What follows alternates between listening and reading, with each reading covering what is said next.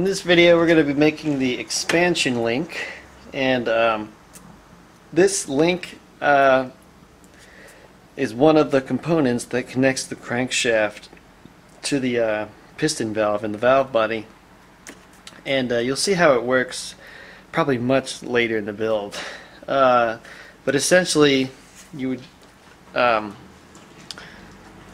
adjust the cutoff by moving this back and forth on a central well you know it's really hard to explain. It's, it's kind of a complicated piece of uh, linkage.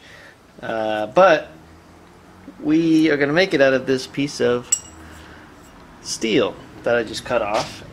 This fits perfectly. This is a one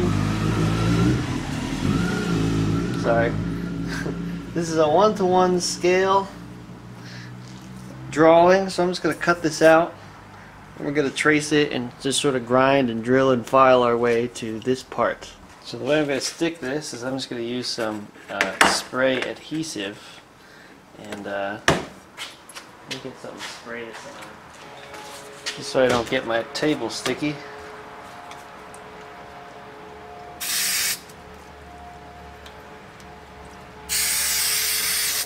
That was probably way too much.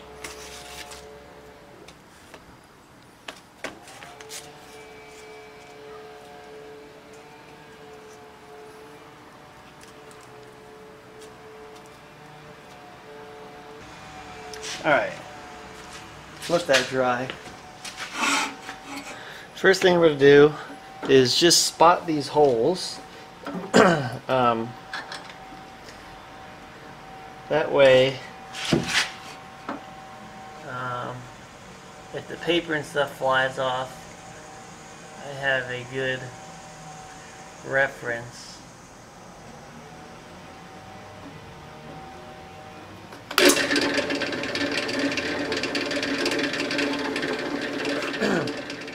Okay, these two are 3 16ths.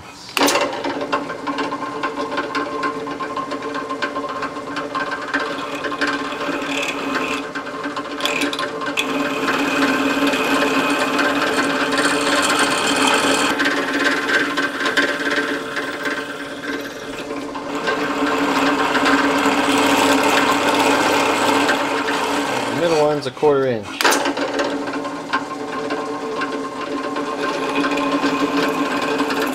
Okay, we're back uh, kind of at square one because what happened was my center drill tip was a really tiny center drill broke off and I thought it fell out of the hole but I guess it didn't. So when the drill bit tried to drill through it it was kind of deflected to the side and drilled a hole next to it.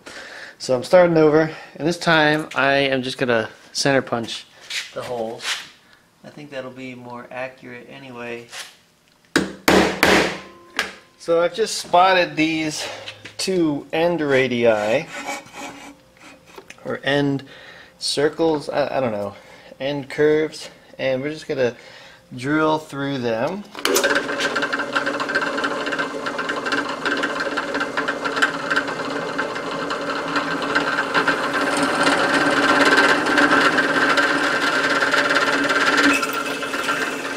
Alright, we're in the mill now, and I just did a bunch of holes um, on the drill press. So now we're just going to have to clean between these holes with an end mill. And this is all to just reduce the amount of work that I'm going to have to do in hand filing this. We're going to do as much as we can with the machines.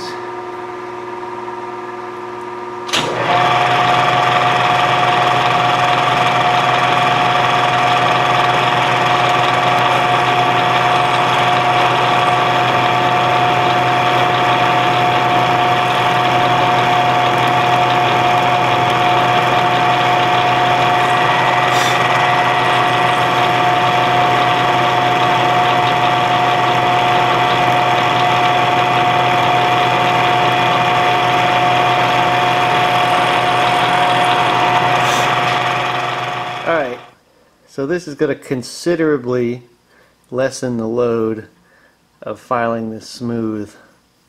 So notice how I didn't we didn't cut it out yet. That was so it's easier to hold. And I'm going to do this all the way until this is completely done. And then cutting it out is going to be the very last step because even now we got to hold it in vices or in the vise and get our files in there. I'm sure some of you guys watch Tom Lipton's channel, Ox Tools, and uh, one thing I learned from him is that he's kind of a file junkie. Um, jobs like this, it just seems like you know he always gets a kick out of. So we're gonna gonna look for a smaller file, but we're just gonna get in here.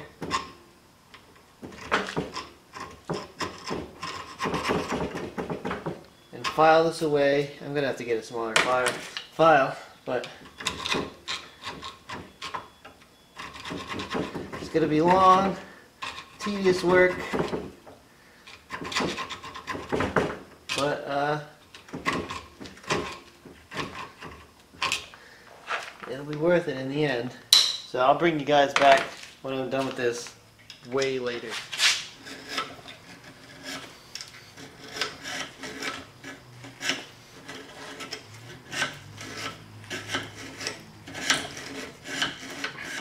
Okay, it's not 100% perfect because uh, there's still little indentations there in a couple spots from the drill bits. Um, but so we're going to make a die block that actually rides in here. And it's going to be, you know, pretty long and it, it, it just might be that these little indentations don't matter um, because it's going to be very big and uh, so we're gonna, I'm gonna leave it like this for now. After I make the die block, we're gonna tweak this so that the die block moves back and forth smoothly because I'm, I'm sure it's gonna need tweaking for, for sure. So now I'm just gonna cut off the bulk of this stuff with the angle grinder and then we're gonna, we're gonna uh, profile it with the file.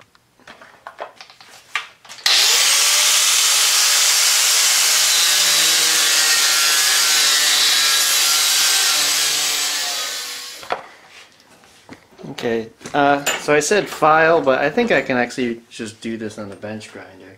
Uh, I'm wearing welding gloves because this is going to get hot. Um, I don't have a little thing of water to cool it down with, and plus I don't want to do that because I want to keep the paper on there. So let's, uh, let's do this.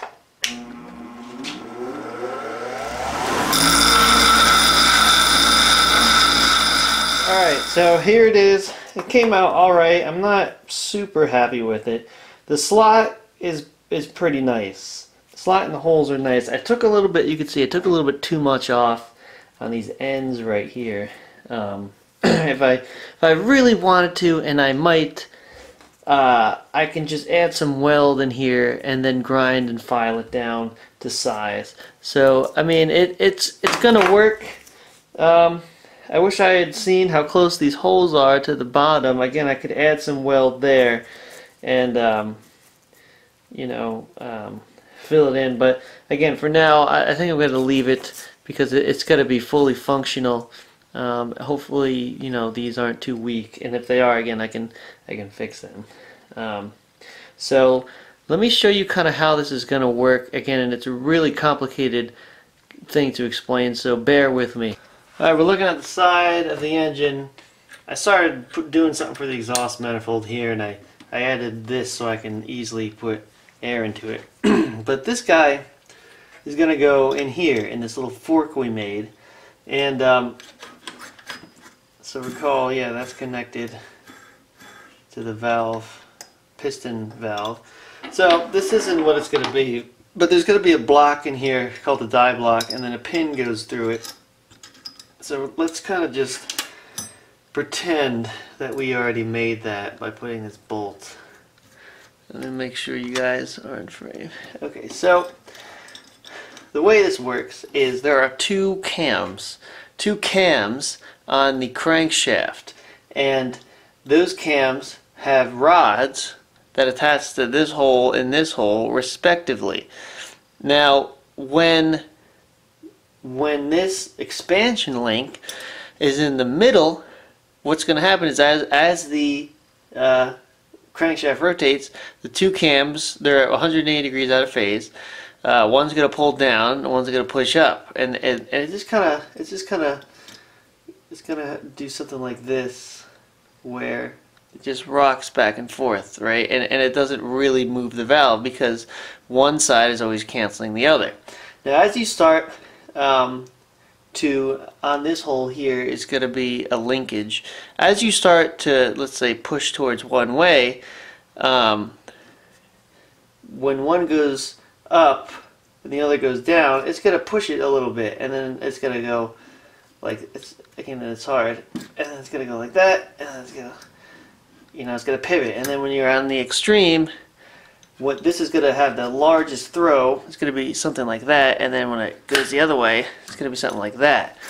Um, so with this, you could continually adjust the steam cutoff, which is the point on the cylinder when you cut off steam and just let the expansion of steams take it the rest of the way the bigger cutoff you have, the more power and torque you get for a lot of reasons that I'm going to make a video about.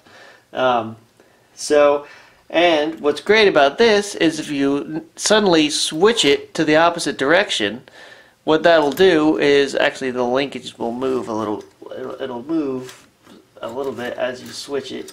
Um, that is going to reverse the engine.